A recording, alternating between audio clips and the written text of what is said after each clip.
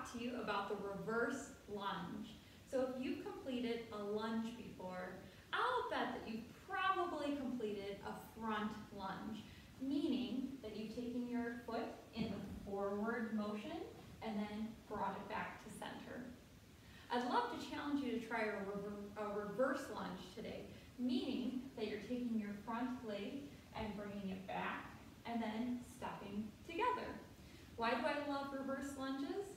For the first reason is because when you take a step back, there's a better chance that you'll be in correct form because your knee is already in position. You're just taking your back leg and swinging it back instead of chancing that front leg coming forward and not sure where to put your knee and your foot.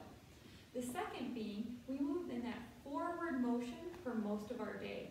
So when we take a step back, we're challenging our balance. Try a reverse lunge.